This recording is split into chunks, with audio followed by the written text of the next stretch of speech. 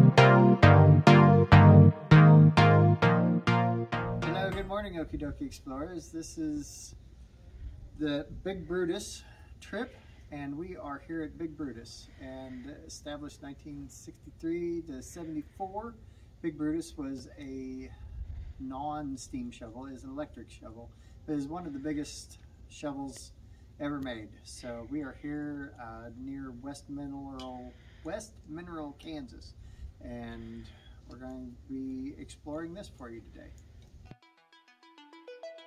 Big Brutus, while not the largest electric shovel ever built, is the largest electric shovel still in existence.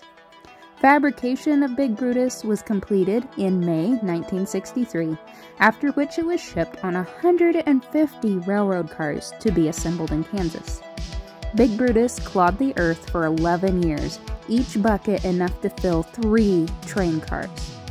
He would zigzag back and forth, filling in behind with what he had excavated in front, and was shut down about a dozen miles from where he started.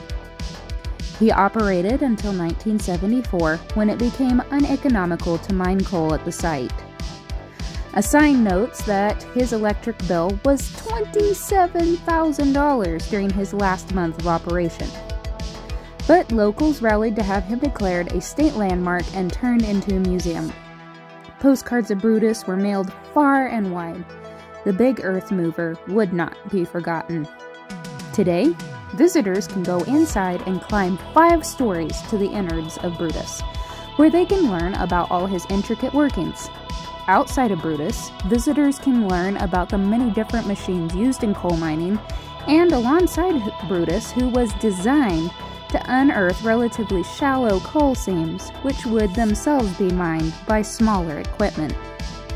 Big Brutus is definitely a cool site worth visiting, as it gives you a sense of, of awe at how we small, frail humans can truly pull off some remarkable feats.